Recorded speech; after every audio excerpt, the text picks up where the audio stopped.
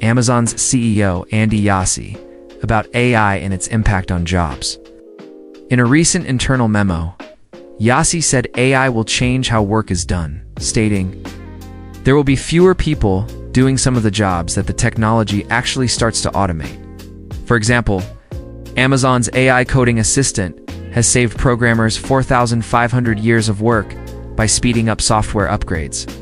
But it's not all about job cuts. Jassy highlighted that AI will free employees from rote work, making jobs more interesting and focused on innovation. He also stressed that learning AI skills is key for the future as those who adapt will thrive.